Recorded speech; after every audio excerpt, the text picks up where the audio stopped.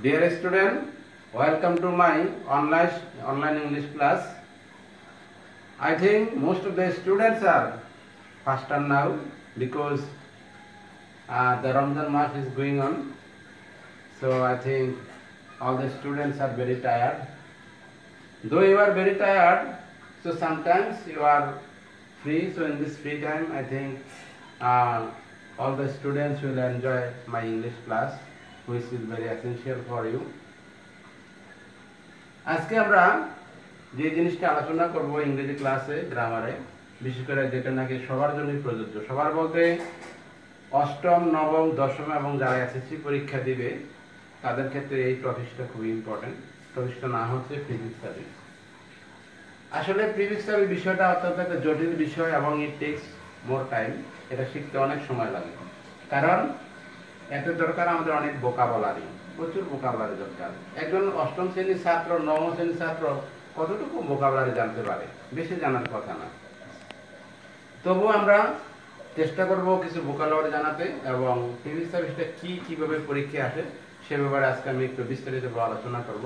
আশা করি শিক্ষার্থীরা, যারা অষ্টম, নবম, দশম এবং পরীক্ষার্থী, তারা সবাই আমার ক্লাসটা একটু অবজার্ভ করবে। আশা করি তোমাদের অনেকটা উপকৃত হবে।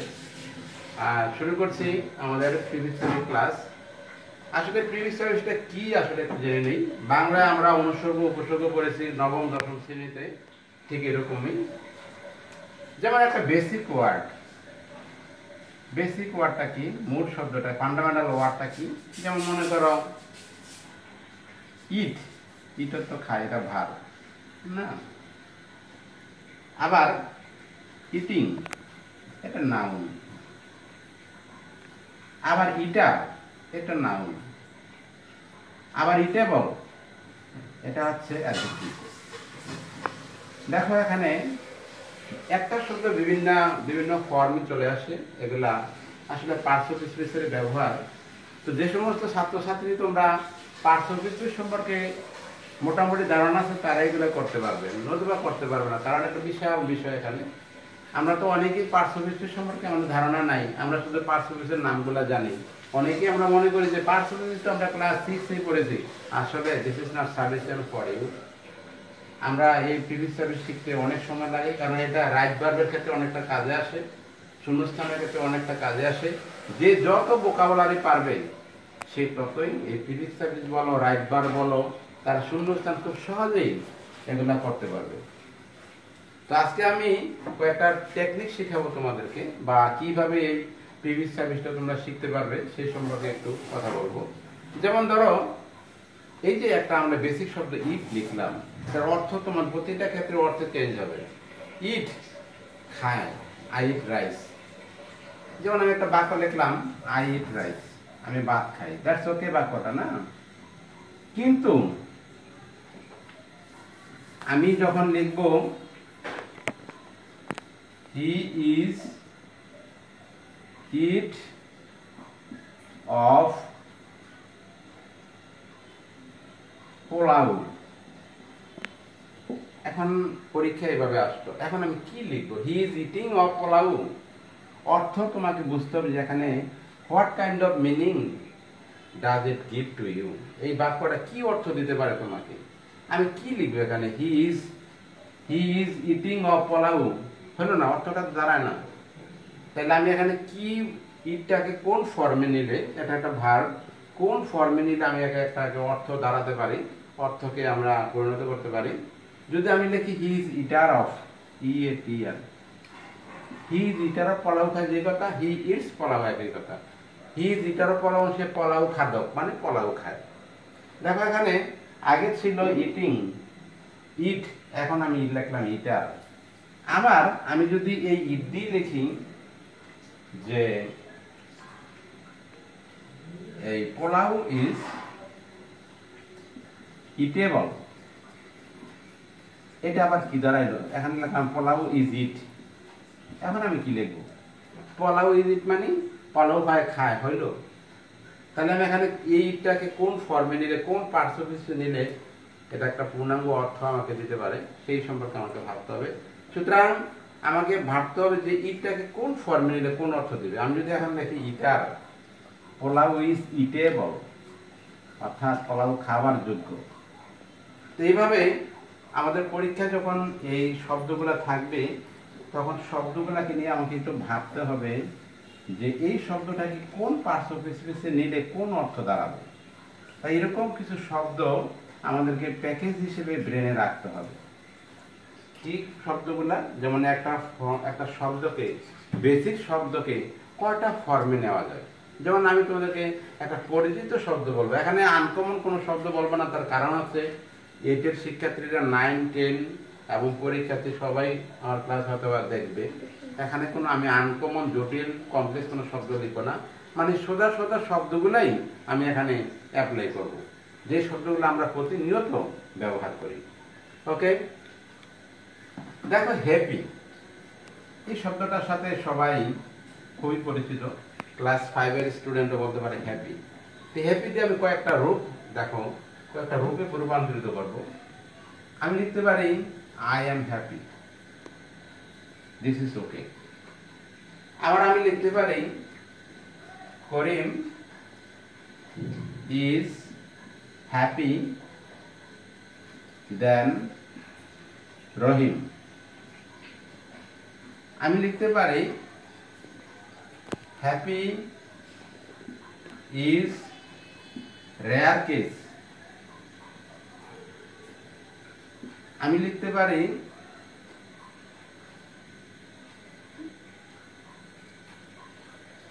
I have been living here happy দেখো, আর লিখবেন অনেকগুলো লেখা যায়। তবে আপাতত এই কটাই লিখলাম। একই শব্দ, চারটা লাইনে চারটা রূপ হবে। কীভাবে হবে? অর্থের দিক থেকে আমি কীভাবে একটা হ্যাপিকে এই হ্যাপিকে কোন জায়গায় লিখব হ্যাপি কোথায় লিখব হ্যাপি আর কোথায় লিখব হ্যাপিয়েস্ট এভাবে তো প্রথম বাক্যটা দেখো I am happy that's okay এটা একটা কমপ্লিট বাক্য, আমি সুখী। এটা একটা পূর্ণাঙ্গ অর্থ প্রকাশ করে। দ্বিতীয় বাক্যটা দেখো, করিম ইজ হ্যাপি দেন রহিম। এটা কেমন হইল? করিম, সুখী, রহিমের চেয়ে না। একটা ডিগ্রির ব্যাপার আছে, করিম রহিমের চেয়ে বেশি সুখী। করিম রহিমের চেয়ে সুখী কথাটা হলো না। করিম রহিমের চেয়ে একটু বেশি সুখী। সুতরাং এখানে হ্যাপি হচ্ছে না, এখানে আমরা লিখতে পারব হ্যাপিয়ার তাহলে আমি জানলাম যে হ্যাপি হ্যাপি থেকে হ্যাপিয়ার করা যায়? আবার দেখলাম হ্যাপি ইজ রেয়ার কেস মানে সুখ বিষয়টা অত্যন্ত আপেক্ষিক এবং বিরল বিষয় এটা। সবার কাছে সুখ নাই। পৃথিবীতে সবাই অসুখী। এখানে হ্যাপি সুখী ইজ রেয়ার না, সুখী না, সুখ রেয়ার সুতরাং আর এখানে লিখব আমরা হ্যাপিনেস কি লিখব ছাত্রীরা, ছাত্ররা? হ্যাপিনেস তাই না? হ্যাপিনেস হ্যাপি হচ্ছে সুখী হ্যাপি আর হচ্ছে সুখ থেকে সুখী বেশি, আর হ্যাপিনেস হচ্ছে সুখ। হ্যাপিনেস ইজ রেয়ার কেস এবং চার নম্বর বাক্যে তোমরা দেখতে পাচ্ছ I have been living here এটার অর্থ হচ্ছে আমি এখানে বাস করছি। হ্যাপি সুখী হইল হয়নি। আমি এখানে সুখে শান্তিতে বাস করছি। সুতরাং এখানে এই বাক্যটা হ্যাপি শব্দটাকে আমরা অ্যাডজেক্টিভ হিসেবে নিব হ্যাপিলি এভাবে পরীক্ষা যখন একটা প্যাসেজ সিস্টেমে আসবে, আমি বাক্যগুলোকে ডিটাচ হিসেবে দেখাচ্ছি তোমাদেরকে, কিন্তু পরীক্ষা এইভাবে আসবে না। পরীক্ষা একটা প্যাসেজ সিস্টেমে আসবে কনটেক্সটে তো সেক্ষেত্রে আমাদের প্রতিটা লাইন পুঙ্খানুভাবে বুঝতে হবে মিনিং বুঝতে হবে যে এই শব্দটা কোন ফর্মে নিলে একটা সুন্দর অর্থ প্রকাশ করবে এবং সেক্ষেত্রে আমি আগে বলেছি যে কারা এগুলা পারবে? যাদের ভোকাবুলারি প্রচণ্ড অনেক দক্ষতা আছে, যাদের ওয়ার্ড স্টক আছে বেশি, যারা অনেক শব্দ সম্পর্কে অবগত, তারাই এই প্রিভিয়াস সাইডগুলো খুব সহজে করতে পারবে? আর দু একটা শব্দ আমি দেখাচ্ছি। যেমন মনে করো the farmer, the farm had a older goes দেখো আমি একই লাইনে দুইটা শব্দ ব্যবহার করেছি এখানে। The farm had a older goes বুঝলাম না। দি ফার্ম মানে দি ফার্ম হচ্ছে কৃষিক্ষেত্র বা ল্যান্ড তো জমির আছে, জমির ছিল, বিস্ময় হাঁস, হলো না। তাহলে আমি এই ফার্মকে কি করলে একটা অর্থ প্রকাশ করব? ফার্মকে যদি আমি ইয়ার অ্যাড করি, ইয়ার, এই মূল শব্দের, বেশি শব্দের সামনে যদি আমি ইয়ার ব্যবহার করি, তাহলে একটা মনে হয় অর্থ প্রকাশ করে। The farmer had a wonder নাম। ওন্ডারটা হচ্ছে নাউন ওন্ডারফুল গোস একটা জাদুকরি হাঁস ছিল। তাহলে আগে ছিল ফার্ম লিখলাম ফার্মার আগে ছিল ওন্ডার এখন হলো ওন্ডারফুল তো আমরা কি লক্ষ্য করলাম এখানে? যে সার্ভিস মানে হচ্ছে একটা শব্দের সামনে অথবা পিছনে কিছু আমরা কিছু শব্দ না, কিছু ওয়ার্ড অ্যাপ্লাই অ্যাড করে আমরা শব্দটাকে চেঞ্জ করে ফেলি। যেমন প্রিভিয়াস সার্ভিস মূল শব্দ হচ্ছে হ্যাপি এটাকে বলে বেসিক ওয়ার্ড এটা সামনে যদি তুমি দিতে পারো, এটা পিছনেও দিতে পারো। পিছনে যদি দাও প্রিফিক্স সামনে দিলে হবে সাফিক্স আমরা অনেক সময় পিছনে দিই, সামনে দিই। যেমন আমি যদি হ্যাপিকে সামনে দিই হ্যাপিনেস হতে পারে, কিছুক্ষণ আগে যেটা দেখালাম, আবার যদি পিছনে দিই হ্যাপিকে আমরা আনহ্যাপি লিখতে পারি।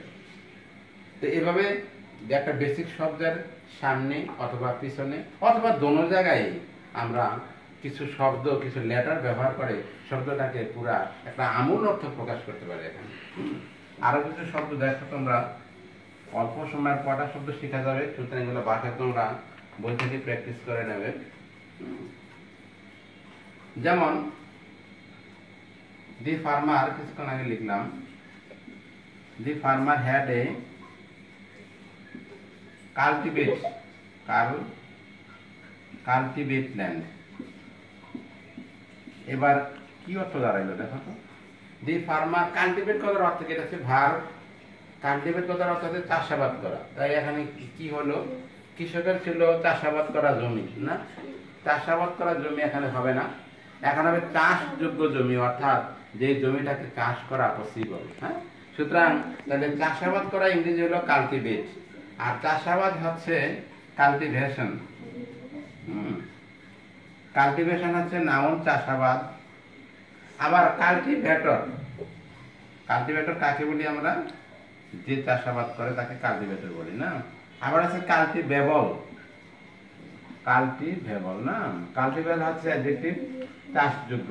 দেখো, একটা শব্দকে আমি চারটা ফর্মে নিয়ে নিলাম। কাল্টিভেট ভার্ব চাষ করা, জমি চাষ করা।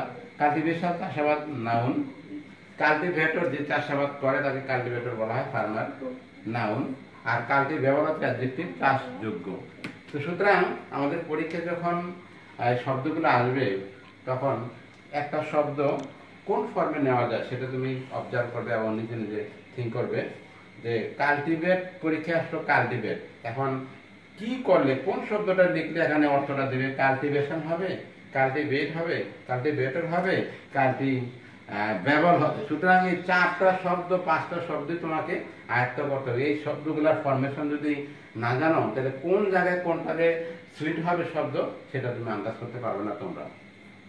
সেক্ষেত্রে তোমাদের অবশ্যই বিভিন্ন শব্দ সম্পর্কে ধারণা থাকতে হবে। বিশেষ করে পার্টস অফ স্পিচ আমি আগেই বলেছি পার্টস অফ স্পিচ একটা জটিল বিষয়। তো আজকে এই সংক্ষিপ্ত সময় যাই মোটামুটি একটু আমি ইঙ্গিত দিলাম। আগামী ক্লাসে আরও একটু বিস্তারিত আমরা বলব।